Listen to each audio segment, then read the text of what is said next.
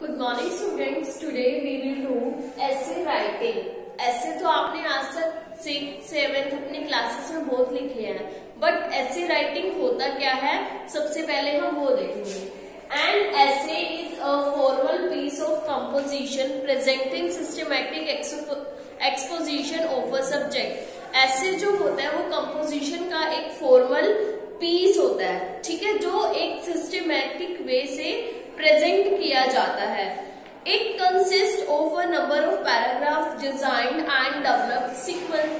sequentially on a given subject और ये जो है इसमें ऐसे में क्या होता है नंबर ऑफ पैराग्राफ्स होते हैं ठीक है like one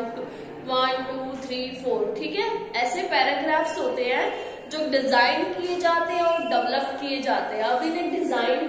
कौन करता है और डेवलप कौन करता है हमें क्या होता है एक ऐसे का एक मेन जो है थीम दे दी जाती है एक मेन सब्जेक्ट दे दिया जाता है ठीक है उस सब्जेक्ट के ऊपर हमें जो है सीक्वेंस वाइज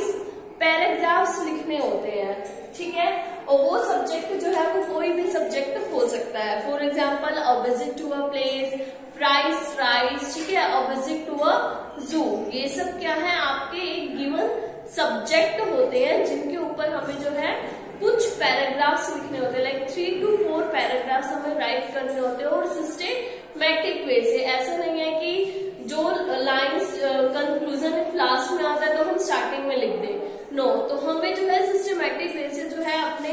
पैराग्राफ को अपने ऐसे को ठीक है अपने पैराग्राफ्स को राइट करना है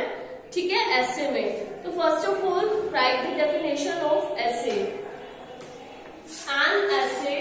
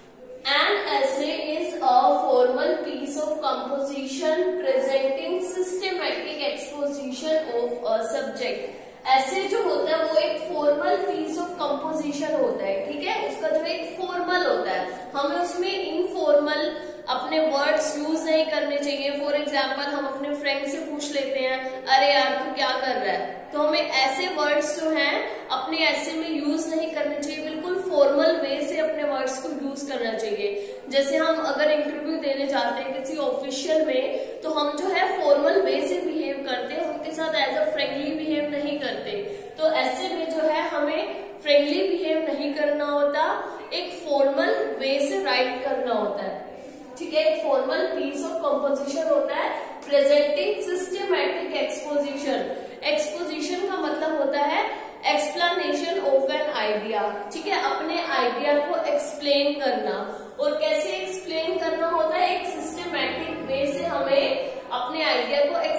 करना होता है और कौन से सब्जेक्ट पर जो भी सब्जेक्ट जो भी टॉपिक हमें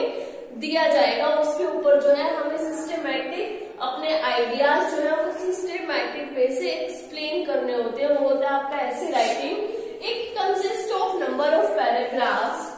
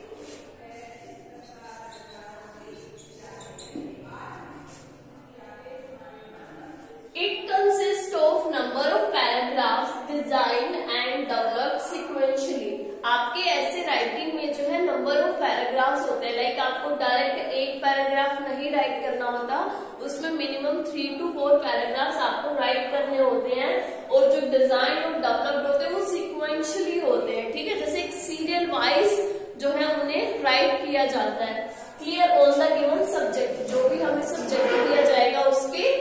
ऊपर clear next one is characteristics of a good essay एक ऐसे की करेक्टरिस्टिक्स क्या होती है first of all write down it if आप राइट नहीं करना चाहते तो आप इसका स्क्रीनशॉट ले सकते हैं और बाद में इसे राइट कर सकते हैं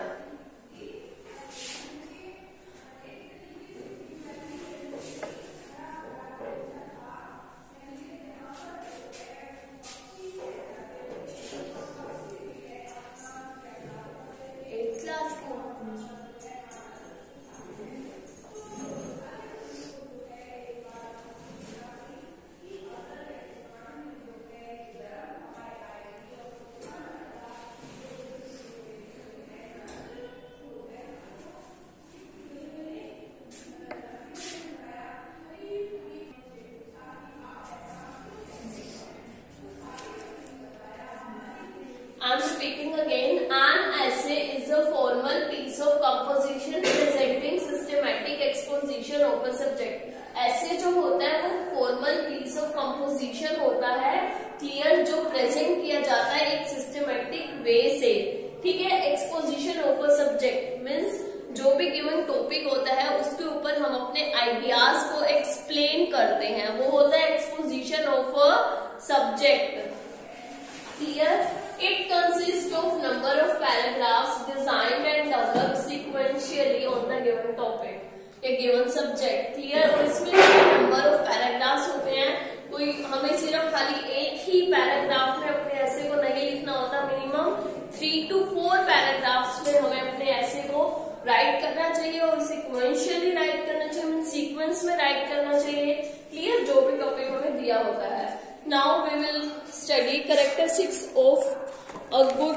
ऐसे एक गुड ऐसे की करेक्टरिस्टिक्स क्या होती हैं now we will study about characteristics of a good essay एक गुड ऐसे की एक अच्छा ऐसे राइट करने की करेक्टरिस्टिक्स क्या होती है करेक्टरिस्टिक्स का मतलब क्या होता है डू यू नो करेक्टरिस्टिक्स मैंने last do you know characteristics मैंने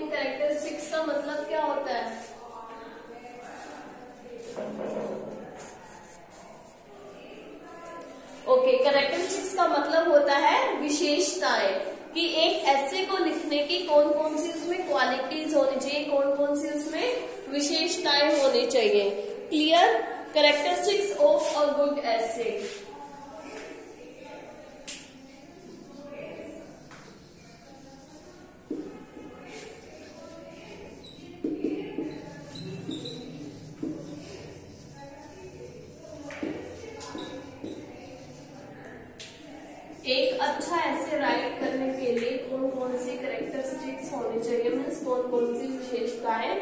होनी चाहिए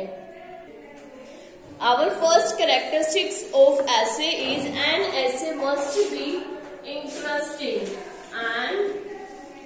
essay must be interesting student ये एसे से पहले हमने